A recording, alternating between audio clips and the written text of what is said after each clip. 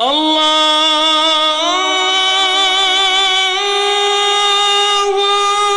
أكبر الله أكبر. ومن اهتدى بهديه إلى يوم الدين. وبعد أيها الإخوة المشاهدون والأخوات من مكة المكرمة ومن جوار بيت الله الحرام وفي هذا البرنامج المبارك ندوة الحرم المكي الشريف نرحب بكم أجمل ترحيب. السلام عليكم ورحمة الله وبركاته. هذا المكان الطاهر مهبط الوحي ومنبع الرسالة. هنا نزل على النبي صلى الله عليه وآله وسلم في غار حراء أول آيات اقرأ باسم ربك الذي خلق خلق الإنسان من علق. اقرأ وربك الأكرم الذي علم بالقلم علم الإنسان ما لم يعلم. هذه الندوة ونحن نجلس الآن في جوار بيت الله الحرام. سيكون حديثها عن استقبال رمضان. وضيفنا في هذه الندوة المباركة شيخ جليل معروف يعرفه الصغير قبل الكبير فهو إمام من أئمة المسجد الحرام. أتحف المسلمين وما زال يتحفهم بقراءته وصوته الشجي الجميل. فضيلة الشيخ عبد الرحمن بن عبد العزيز السديس إمام وخطيب المسجد الحرام وعضو هيئة التدريس بجامعة أم القرى كلية الشريعة والدراسات الإسلامية. بداية نرحب بشيخنا الكريم أجمل ترحيب. وأهلا وسهلا بكم شيخنا الفاضل في هذه الندوة المباركة والتي تستوحي أحداثها من جوار هذا المكان الطاهر. وبكون هذا اللقاء أول لقاء يجري من هذه الندوة فنود من فضيلة الشيخ عبد الرحمن أن يحدثنا عن هذا البلد الأمين وهذا البلد الطاهر والحرم وقدسية الحرم وبعض النصائح والتوجيهات تفضل شيخ. بسم الله الرحمن الرحيم. الحمد لله رب العالمين والعاقبة للمتقين ولا عدوان إلا على الظالمين. وأصلي وأسلم على من بعثه الله رحمة للعالمين. اللهم صل وسلم. نبينا وحبيبنا وقدوتنا محمد بن عبد الله الذي أرسله الله هاديا ومبشرا ونذيرا وداعيا إلى الله بإذنه وسراجا منيرا. وصلوات الله وسلامه عليه وعلى آله وأصحابه وأتباعه بإحسان إلى يوم الدين. أما بعد فنحمد الله تبارك وتعالى الذي هيأ هذا اللقاء الطيب المبارك مع إخوتنا المشاهدين في كل مكان. ونسأل الله تبارك وتعالى أن يرزق الجميع العلم النافع والعمل الصالح وأن يجعلنا جميعا هداة مهتدين بمنه وكرمه. بالنسبة لما سألتم عنه فيما يتعلق بقدسية الحرم المكي الشريف لا شك أنها قضية مهمة بل وقضية أزلية أيضا وتكاد تكون من المسلمات التي يعرفها كل مسلم فإن الله سبحانه وتعالى عظم هذا البيت. وشرفه حتى إنه جل وعلا أقسم به في كتابه الكريم والقسم بالشيء دليل على عظم وشرف ومكانة المقسم به. فقال الله عز وجل لا أقسم بهذا البلد. الله أكبر. وقال جل وعلا والتين والزيتون وطور سينين وهذا البلد الأمين. نعم وامتن الله عز وجل على الناس بهذا الحرم الآمن. فقال سبحانه أولم يروا أنا جعلنا حرما آمنا ويتخطف الناس من حولهم نعم. وقال سبحانه أولم نمكن لهم حرما آمنا يجبى إليه ثمرات كل شيء رزقا من لدنا. فهذا الحرم الشريف منة الله عز وجل على خلقه وعلى عباده يتوبون إليه ويأتون إليه من كل فج عميق بل إنهم يستقبلونه في صلواتهم ويأتون إليه لأداء الحج إلى بيت الله الحرام. وهو كما نعلم ركنا من أركان الإسلام. ولا شك أن لهذا الحرم آدابا ويجب على المسلم أن يتحلى في جوار الحرم. وإذا أتى إلى هذه المنطقة المباركة أن يتحلى بأحسن الأخلاق بالكلمة الطيبة والتعامل الحسن وأن يرعى لهذا المكان الأدب المشروع كما كان الرسول صلى الله عليه وسلم. وقد أخبر عليه الصلاة والسلام أن هذا البلد حرام حرمه الله يوم خلق السماوات والأرض. نعم. وأنه, وأنه هذا المكان المبارك لا يعبد فيه شجر ولا ينفر فيه صيد ولا يختلى خلاه فإذا كانت هذه حرمة الشجر والحجر وحرمة الصيد والطير فكذلك حرمة المسلم بل من باب أولى. وحرمة هذا المكان الطيب المبارك ولعله أيضا شيخنا الكريم يعني إضافة هذا البيت إلى الله. وطهر. وأنها إضافة تشريف نعم بيتي. وتكريم وطهر بيتي للطائفين. نعم. والعاكفين. فليعبدوا. وركع السجود. نعم. فليعبدوا رب هذا البيت الذي أطعمهم من جوع وآمنهم من خوف. أحسن الله إليكم شيخنا الكريم. بعد- وبهذه المناسبة نعم تفضل. آه، اي تفضلوا. بهذه المناسبة أشيد بهذه الخطوة المباركة نعم.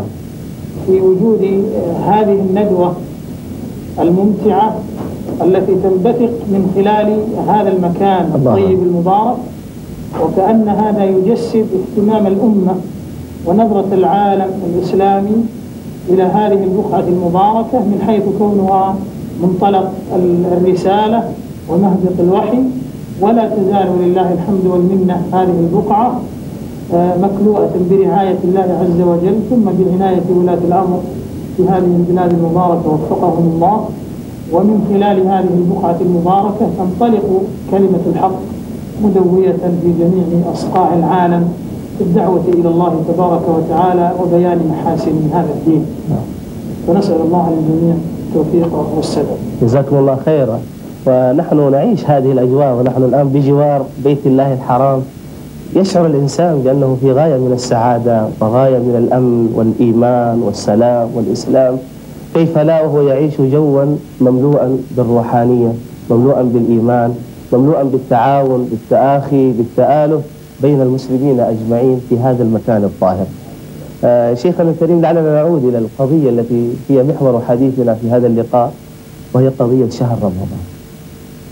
شهر رمضان كما يعلم الجميع شهر أوله رحمة وأوسطه مغفرة وآخره عتق من النار. فنحب أن نتحدث عن فضل هذا الشهر وعن كيف كان النبي صلى الله عليه وآله وسلم والسلف الصالح وصحبه الكرام يستقبلون هذا الشهر الكريم. نعم لعل من حسن التوفيق أننا نتحدث في هذا الموضوع المهم فنجمع بين شرف الزمان الحمد لله. وشرف المكان. هذه نعمة من الله نتحدث حول شهر رمضان الذي هو أشرف الأزمنة. ونتحدث أيضا عن مكة المكرمة وهي أشرف الأمكنة. وأيضا يزيد شرفا ثالثا وهو شرف الهدف والقصد والغاية نعم. التي من أجلها وجدت هذه الندوة المباركة وجدت هذه الندوة المباركة وهي قضية وشرف الدعوة إلى الله عز وجل وتوجيه المسلمين إلى ما يهمهم في أمر دينهم ودنياهم وآخرتهم. الحديث عن الشهر المبارك شهر رمضان حديث مهم وحديث تتشوق له القلوب المؤمنة والنفوس المسلمة لأنه شهر عظمه الله عز وجل ومن على هذه الأمة بهذا الشهر المبارك. وهو سبحانه وتعالى له الحكمة البالغة فيما يخلق ويختار. ويختار من الأزمنة ويختار من الأمكنة ما يشاء بحكمة يعلمها سبحانه. وفي هذا فرصة ونعمة للمكلفين في أن يجتهدوا في استغلال هذه الأيام المباركة وهذه اللحظات الفاضلة فيما يقربهم إلى الله تبارك وتعالى وكلنا بحاجة إلى رفعة درجاته تكفير سيئاته. وهذا الشهر المبارك هو فرصة من الفرص العظيمة التي تتحقق فيها هذه القضية المهمة. أولا يقول الله عز وجل يا أيها الذين آمنوا كتب عليكم الصيام كما كتب على الذين من قبلكم لعلكم تتقون. أيام معدودات. إلى قوله تبارك وتعالى شهر رمضان الذي أنزل فيه القرآن هدى للناس وبينات من الهدى والفرقان. فمن شهد منكم الشهر فليصم. ومن كان مريضا أو على سفر فعدة من أيام أخر. يريد الله بكم اليسر ولا يريد بكم العسر. ولتكملوا العدة ولتكبروا الله على ما هداكم ولعلكم تشكرون. ففي الآية الأولى نداء للمؤمنين. ونداء للمؤمنين بشرف الإيمان. يجعلهم يتشوفون إلى هذا النداء من ربهم تبارك وتعالى. وكما قال عبد الله بن مسعود رضي الله عنه إذا سمعت الله يقول يا أيها الذين آمنوا فأصغ لها سمعك فإنها خير تؤمر به أو شر تنهى عنه.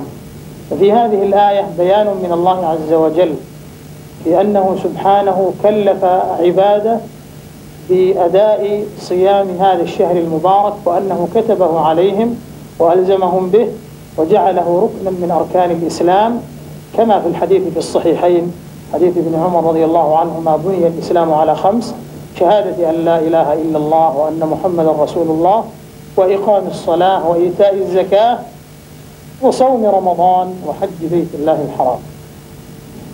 فشهر رمضان المبارك شهر عظيم وموسم كريم. الله شهر يستقبله المسلمون بالرغبة الشديدة وبالحب وبالفرح قل بفضل الله وبرحمته فبذلك فليفرحوا. هو خير مما يجمعون. كم من تائب مذنب يتمنى دخول هذا الشهر الكريم ليتخفف من ذنوبه ويتوب إلى ربه ومولاه؟ لعل نفحة من نفحات. المولى تبارك وتعالى تدركه ولعله يكتب منه تقاء الله من النار في هذا الشهر المبارك. وكذلك المسلم المسابق إلى الخيرات فإنه يجعل من هذا الشهر منطلقا لأداء العبادة لله تبارك وتعالى بشتى أنواعها من تلاوة القرآن من حسن الصيام من القيام من الاعتكاف من الصدقة والبذل والإنفاق في سبيل الله فكلها فرص يجب على المسلم أن يحرص عليها وأن يفرح بها وأن يشارك في هذا الشهر المبارك بالعمل الصالح لعله يحظى بمغفرة الله ورحمته ورضوانه وعتقه من النار. والحديث الحقيقة عن هذا الشهر حديث كثير وذو شجون والآيات فيه والأحاديث كثيرة منها ما خص الله عز وجل هذا الشهر بخصائص كثيرة. خص أمة محمد صلى الله عليه وسلم بخصائص ليست لغيرها منها أن خلوف فم الصائم أطيب عند الله من ريح المسك. ومنها أن الله يغفر لعباده في آخر ليلة من رمضان. وهذه نعمة عظيمة. وفي آه، سنن البيهقي قبل أن وصحيح ابن خزيمة. عن سنن البيهقي وابن خزيمة نعم. لو وقفنا شيخنا الكريم عند قول النبي صلى الله عليه وسلم ولخلوف فم الصائم أطيب عند الله من ريح المسك. لما نعقد مقارنة بين خلوف فم الصائم ودم الشهيد. نعم. دم الشهيد يقول النبي صلى الله عليه وسلم يبعث الشهيد يوم القيامة نعم. اللون لون الدم دم والرائحة. المسك. ورائحة المسك. فننظر إلى رائحة المسك في دم الشهيد مع أن الشهيد منزلته عالية. نعم. ولا تحسبن الذين قتلوا في سبيل الله أموات أمواتا بل أحياء عند ربهم يرزقون فرحين بما نعم. آتاهم الله أكبر. عندما نأتي إلى الصائم نعم. نجد أنه أو خلوف رائحة الفم المتغيرة. هذه أطيب. عند الله من ريح المسك هذه وقفة أيضا. ما في شك أنها وقفة. شيء يعني عجيب. آه، الله. نعم. نعم. وهي وقفة أيضا آه، تعتبر حافزا للهمم في استغلال هذا الشهر المبارك. الله. بل ورد أن إدراك نعمة شهر رمضان على الإنسان نعمة عظيمة كما ورد في مسند أحمد وغيره. نعم. في حديث الثلاثة الذين استشهد اثنان منهم الله وبقي واحد. فقال عليه الصلاة والسلام رآه عليه الصلاة والسلام وهو يسبق هؤلاء الشهداء درجة. فقال أوليس قد صلى بعدهم كذا وكذا صلاة وأدرك رمضان فصامه والله إنما بينهما لأبعد مما بين السماء والأرض. الله أكبر. فهذه نعمة عظيمة حقيقة حافز ودافع للعبد أن يستغل هذه النعمة. وهي إدراك شهر رمضان بالعمل الصالح والإقبال على الله تبارك وتعالى. إذا نرجع إلى سنن البيهقي الآن. نعم. ورد صحيح. ابن. سلمان نعم. في سنن البيهقي وصحيح ابن خزيمة وابن حبان. من حديث سلمان رضي الله عنه قال خطبنا رسول الله صلى الله عليه اللهم صل وسلم في. آخر يوم من شعبان. فقال أيها الناس قد أظلكم شهر كريم مبارك شهر خير فيه ليلة خير من ألف شهر. جعل الله صيامه فريضة وقيام ليله تطوعا. وهذا حديث طويل فيه أنه شهر الصبر وأنه شهر المواساة وأن من فطر فيه صائما كان مغفرة لذنوبه وعتق رقبته من النار. وأوصى النبي صلى الله عليه وسلم في آخر الحديث أن يكثر العباد من خصلتين خصلتين ترضون بهما ربكم وخصلتين لا غنى بكم عنهما فأما الخصلتان أربع خصال؟ نعم طيب. أربع خصال. نعم. أما الخصلتان اللتان ترضون بهما ربكم فشهادة أن لا إله إلا الله تستغفرونه. الله أكبر. وأما الخصلتان اللتان لا غنى بكم عنهما فتسألون الله الجنة الله أكبر. وتستعيذون به من النار. إذا كان هذا هو الشهر وهذه مزاياه وهذه خصائصه أفلا يجدر بالعبد أن يقبل على الله تبارك وتعالى وأن يستغل هذا الشهر المبارك وأن يتأدب بآداب الصيام وأن نعم. يستقبل هذا الشهر استقبال الضنين واستقبال العطش الذي يجد الماء الصافي والعبد الزلال فيسد رمقه ويشبع نهبه شيخنا الكريم سبحان الله يعني الإنسان حتى غير غير المجتهد في الطاعة أو حتى غير المقبل أو المكثر من الطاعة في غير رمضان يجد في رمضان قبولا على الطاعة أو إقبالا على الطاعة بشكل يعني ممكن نقول عنه انسيابي لا شعوري يقبل مع الناس على الخير. وأقول لعله هذا من قول النبي صلى الله عليه وسلم أنه أخبر أنه تفتح فيه أبواب الجنان تغلق فيه تغلق فيه أبواب النار وتصفد فيه مردة الشياطين. كما. أخبر النبي صلى نعم. الله عليه وسلم. اللهم هذه كلها من الأمور المساعدة. وينادي مناد يا باغي الخير أقبل ويا باغي ولله متقام الله. أكبر. هذا هذه البشارة العظيمة التي نعم. تفتح باب الأمل ولله عتقاء من النار. الله أكبر. ثم كما ذكرتم في آخر ليلة يغفر الله عز وجل له. الله. وهنا سؤال هذه الليلة هل هي ليلة القدر التي يغفر الله عز وجل فيها لجميع نعم. من صام رمضان؟ هذا أجاب عنه النبي صلى اللهم الله عليه وسلم وبارك سأله. الصحابة قالوا نعم. يا رسول الله هل هي ليلة القدر قال لا ولكن العامل إنما يوفى أجره إذا قضى عمله الله وهذا من آه، سعة فضل الله عز وجل ورحمته بعباده وفتحه أبواب الخير لهم فهو سبحانه وتعالى مع ما يعتق في ليلة القدر من آه، عتقاء من النار الله. من عتقاء من النار فإنه يعتق في آخر ليلة أيضا كثيرين نسأل الله أن يشملنا بعفوه. ورحمته وكرمه رب. فإخوتي المشاهدين هذا الشهر كما ذكر النبي صلى الله عليه وسلم في الحديث الذي أشار إليه الشيخ عبد الرحمن أنه من تقرب فيه بخصلة من الخير كان كمن أدى فريضة فيما سواه. ومن أدى فيه فريضة كان كمن أدى فيه سبعين فريضة كان كمن أدى سبعين فريضة فيما سواه هو شهر الخيرات شهر البركات شهر النفحات شهر التجليات شهر العتق من النيران.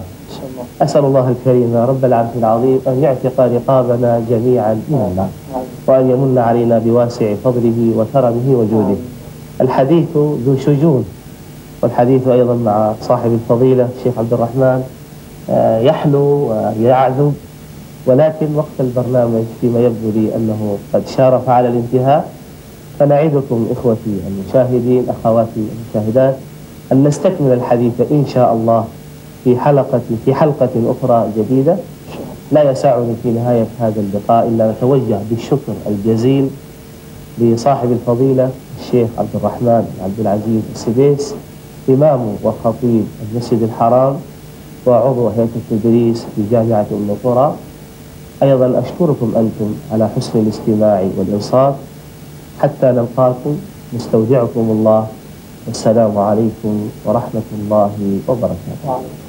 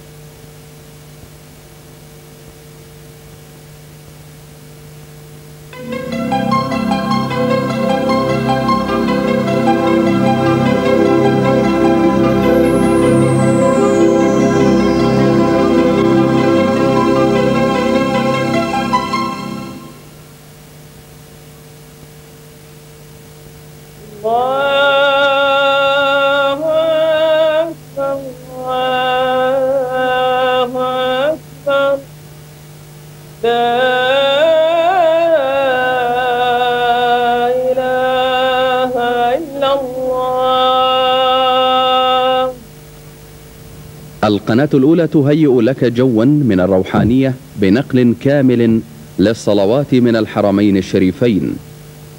صدق الله ومن أصدق من الله حديثا. صدق الله ومن أصدق من الله قيلا. اللهم أعد علينا رمضان أعواما عديدة وأزمنة مديدة. اللهم أعده على الأمة الإسلامية